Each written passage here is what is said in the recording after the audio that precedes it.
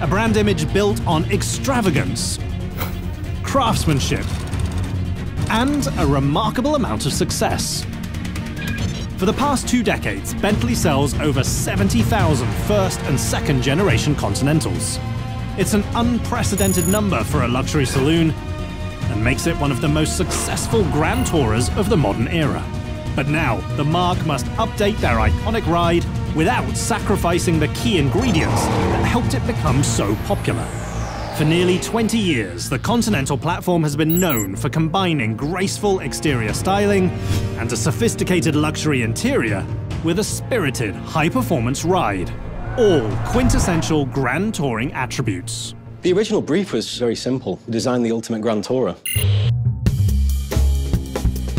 The contemporary Continental story starts in 1998, when the auto conglomerate Volkswagen snatches Bentley up as part of a £430 million deal.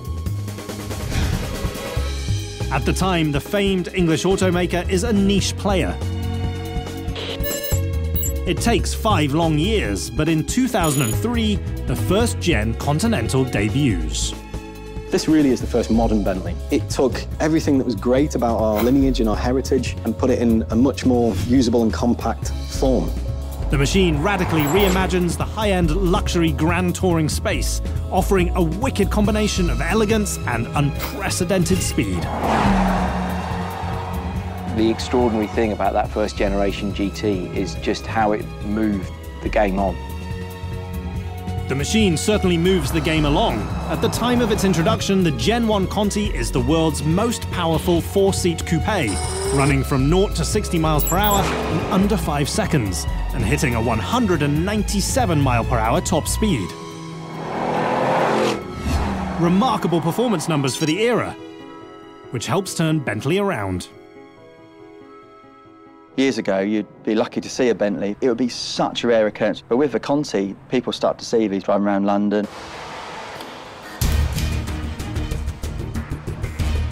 Over a 15-year period, the marque produces over 70,000 machines, making the Conti one of the most successful ultra-luxury saloons of its era. You don't see cars in the two, three hundred thousand dollar range that sell 70,000 units over their lifetime. 10, 20, maybe, but not 70. As the machine carves out its own niche, other car makers like Aston Martin, Ferrari, and even Rolls-Royce take notice. Now the Hunter has become the Hunted.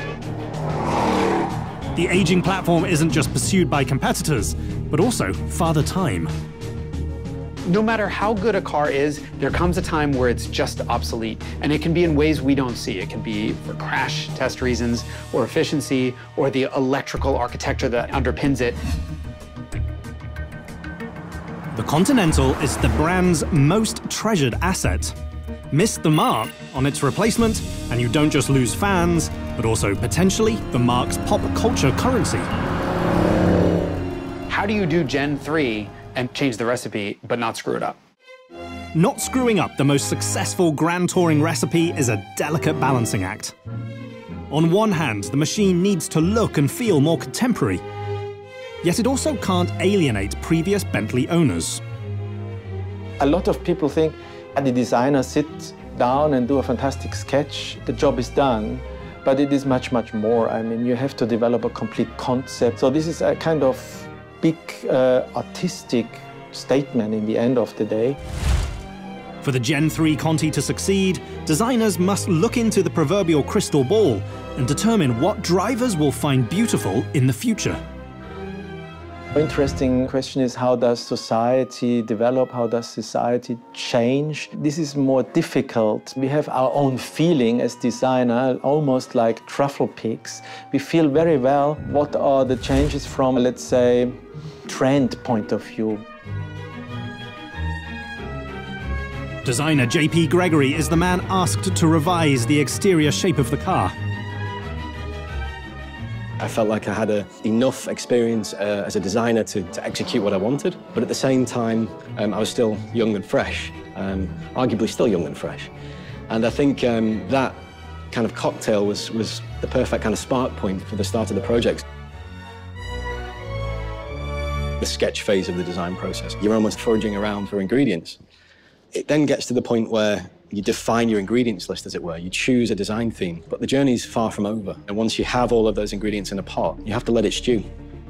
And it's the same with design. You need that time and that consideration and, and chance to, to step back. Stepping back starts on paper, but soon moves into the digital world. Then to full-size clay models. All in the hopes of finding the right stance for the new Conti perfect design theme to wrap around the machine's mechanical layout. Proportions is something a human being understands. People will be able to say a racehorse is more elegant proportion-wise than a donkey. To create a more contemporary proportion, the team decides to lower the bonnet, utilize a shorter front fascia overhang, and create a more aggressive overall stance. All clever ways to modernize a machine designed to please new buyers and loyal fans. The proportions which you know only exist here on the GT, they're custom made for this car. It's quite a rare thing, it's a unique thing. It gave us the chance to, to affect the proportions positively. I mean, you only need to look at that side view just to see the character and the stance of that car.